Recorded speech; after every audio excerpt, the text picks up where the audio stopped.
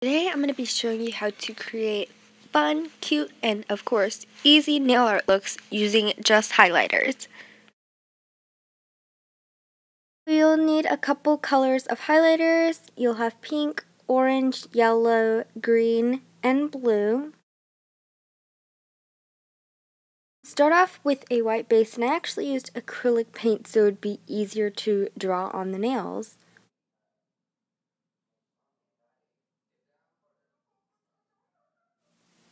First design will be polka dots, so I'm starting with the blue highlighter. I'm just going to be dotting with the tip, and then I'm going to be using green, and I'm going to continue on with the other colors so it's like a rainbow. And because it's a highlighter tip, it's super easy to create the dots. It's completely mess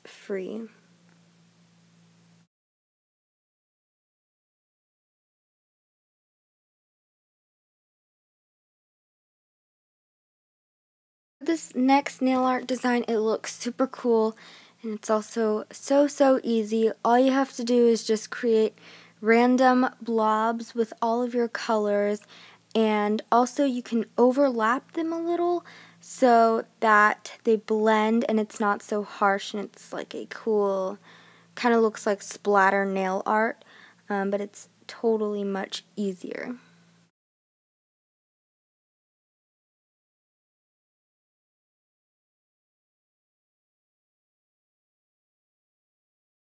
This next nail art look, in my opinion, it's the easiest.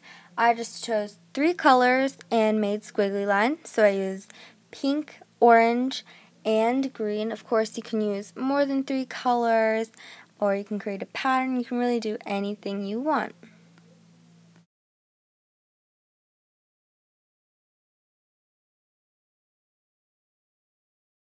This last nail art look, I wasn't able to record it, but all you do is kind of create different size circles and you can blend them, make them a little messy, and that's what I did.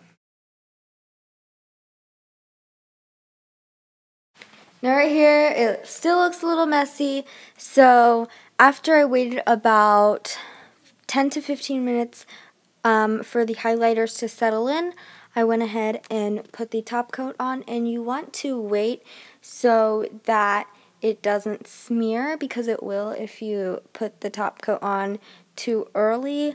Um, so you definitely want to wait a little bit just to be safe.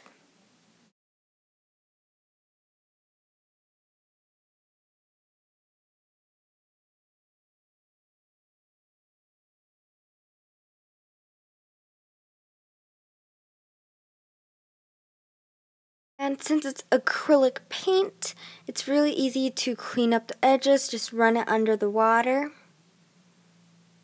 And that is the completed look.